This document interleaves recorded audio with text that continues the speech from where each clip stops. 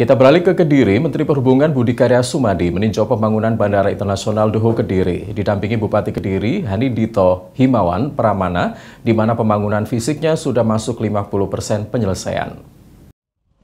Kedatangan Menteri Perhubungan Budi Karya Sumadi di Kediri untuk memantau progres pembangunan Bandara Doho di Kabupaten Kediri, Jawa Timur, guna mengetahui proses pembangunan dan rencana operasional.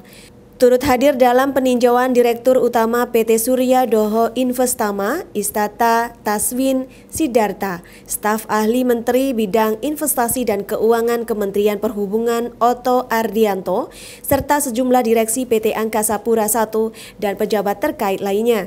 Menteri Perhubungan Budi Karya mengajak partisipasi pihak swasta untuk turut membangun konektivitas transportasi baik di darat, laut, udara, dan perkereta apian di mana Bandara Doho Kediri merupakan salah satu proyek bandara yang dibangun dengan skema kerjasama pemerintah dan badan usaha.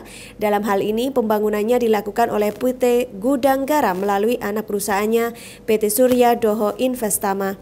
Pemerintah uh, melihat ini sebagai satu uh, kearifan dari para swasta yang turut serta membangun infrastruktur yang membantu pemerintah agar uh, konektivitas uh, bisa dipastikan uh, bisa dilakukan.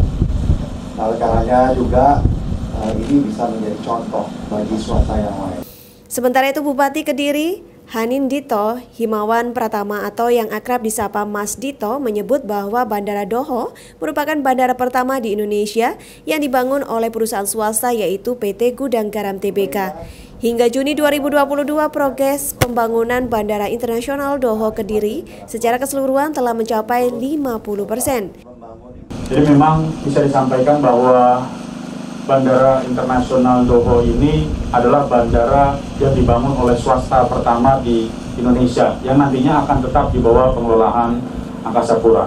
Tadi sudah menjadi arahan Bapak Menteri Perhubungan bahwa Kediri ini nanti akan menjadi sebuah epicentrum baru jadi penyangga Jawa Timur tidak hanya kota Surabaya, jadi mengingat bahwa ada konsep yang namanya Sudirman Raya Pak Menhub, itu Surabaya Raya, dirnya itu harusnya Kediri Raya dan mannya itu adalah Malang Raya. Malang Raya dan... Dari Kediri, Rahmatullah Kurniawan, Arek TV melaporkan.